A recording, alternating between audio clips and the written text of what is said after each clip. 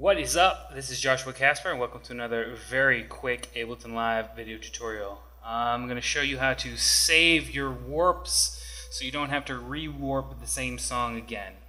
Um, I use iTunes to kind of sort my music out usually, so if I come in and I get a track, and this is a track I'm working on actually, it's pretty hot, and I pull it in from iTunes, it, essentially iTunes is taking it from where it's stored in the folder you know, wherever I tell iTunes my folders are, my music folders.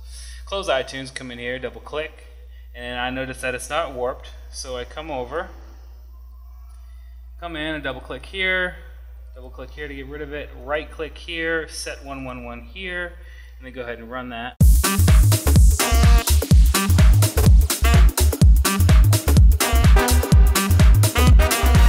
And that's the track I'm working on, by the way. Uh, and then I come back here and just make sure it's warped out the way I like it. And, you know, it's pretty close. Come in and double click and move it to where it's supposed to be.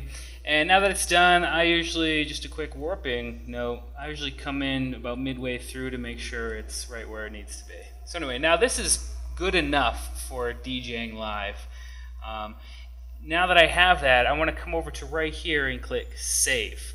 And now that I've hit Save, it makes a permanent ana analysis file next to the MP3. So now if I delete this and I close Ableton and then I open Ableton again and I come into iTunes um, and I pull that same track and drop it in, uh, you can see that the warp markers are saved. And that will work if you close Ableton and open it, but I'm not going to do that because this is a very short tutorial.